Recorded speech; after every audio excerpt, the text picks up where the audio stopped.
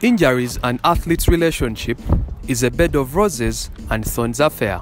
A number of careers have come to an early end, while others have seen injuries rejuvenate theirs. To Uganda Cranes forward Erisa Sechisambu, the muscle tear he got mid last season won't hinder his dream of playing professional football.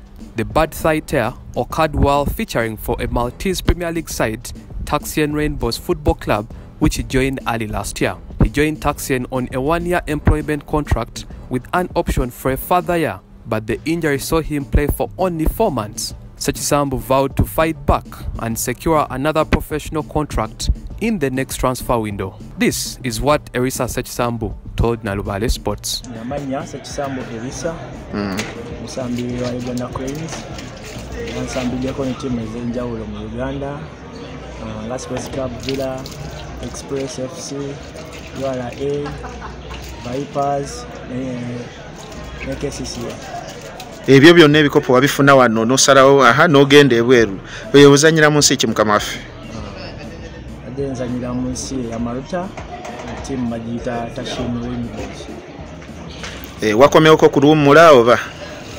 Ya nakomawo ku luwummula naye era nagenda okudda nga nafunamuko obuvune omwezi ogwomukaaga naye nasobola okukomawo mu ggwanga mwezi nga gwalina gwa munaana Ya, adde nkya nasinga injale enafuna mu kisambi naye oliko ekisambi naye.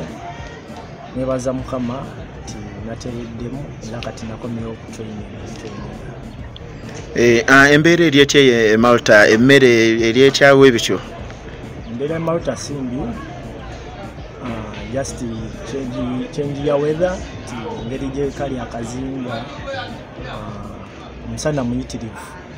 Wabeera wokya olumu naye era kati obudde nga buno waliyo winter winter naye etuukayo engeri gyeriiwe Eh, naye ngaembeera esinga guba musana mmere emmere yaayo kale balina local food zaabwe zezitategeera naye era obviously wabeerayo ebyokulya ebyaffe byetumanyidde bulijjo bye mu supermarket like spageti spaghetti nkoko n'ennyama bibaayo Sechisambo has had successful stints at four of Uganda's biggest football clubs Sports Club Villa, KCCA FC, URAFC, Express, and Vipers, as well as Kenya's Gor Mahia. He won three Uganda Cup gold medals in three consecutive years at three different clubs.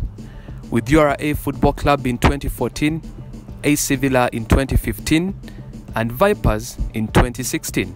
He also has a couple of league titles to his name. Now, back to less intense workout sessions from Nalubale Sports. We wish Seth Sambu a full recovery.